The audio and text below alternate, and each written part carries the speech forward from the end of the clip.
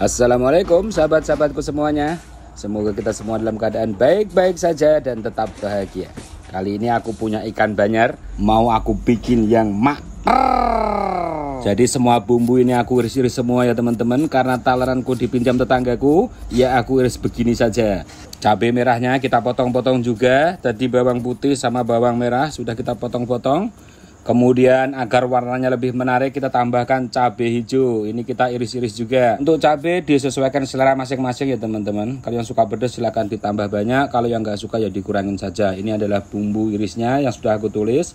Dan ini adalah hasil rajangan kita atau irisan kita. Ya, lanjut kita siapkan wajan atau kualinya. Tambahkan minyak goreng. Ini secukupnya buat goreng ikan banyarnya ya teman-teman. Ini kita tunggu sampai panas. Setelah panas kita masukkan tepung terigu sekitar 1 sendok makan supaya ikan yang kita goreng tidak meletup-meletup dan tidak lengket ya teman-teman. Nah ini kita masukkan satu persatu. Ikannya nggak harus banyak ya teman-teman. Jadi bisa ikan apa saja. Bisa bandeng, bisa mujair, bisa lele ataupun ikan gabus juga tak masalah. Yang penting sesuaikan selera teman-teman. Setelah agak kekuningan kita balik ikannya biar matangnya merata. Jadi kalau dikasih tepung terigu itu jadi ikannya tidak lengket ya teman-teman. Seperti ini hasilnya.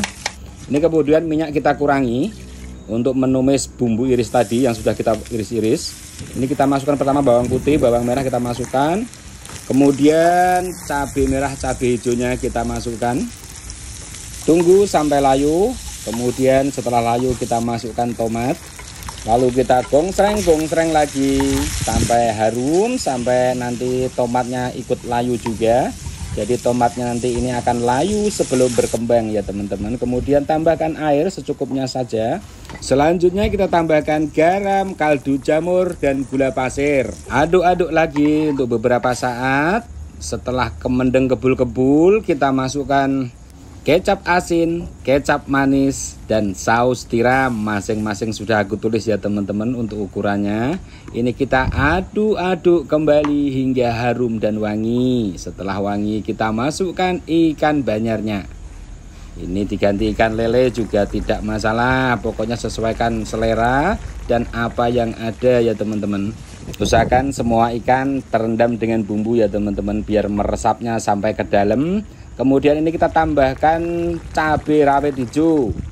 Jadi sesuaikan selera untuk cabenya. Kalau yang nggak suka pedas ya di skip saja. Biar bumbunya meresapnya sama dan rata kita balik ikannya. Ikan banyaknya kita balik. Kita tunggu sampai harum sampai menyentuh ke hidung. Ikan banyar kita angkat. Nah, seperti ini penyajiannya teman-temanku semuanya. Hmm, dari aromanya dan rasanya sudah kebayangkan. Dari paduan kecap kecap asin, kecap manis dan saus tiram itu sudah kebayang rasanya teman-teman. Wah, ini ambilkan nasi putih yang hangat dan pulen. Ya, pokoknya dijamin boros nasinya. Pokoknya nasi seberapa pun akan amblas teman-teman. Bismillahirrahmanirrahim. Hmm. Mak Oke sahabat-sahabatku semuanya, sampai di sini dulu. Semoga bermanfaat. Terima kasih hmm, sudah singgah. Semoga kita semua dalam keadaan sehat walafiat, diberikan kemudahan semua urusan kita, yaitu urusan dunia dan akhirat. Panjang umur yang berkah, murah rizki. Amin.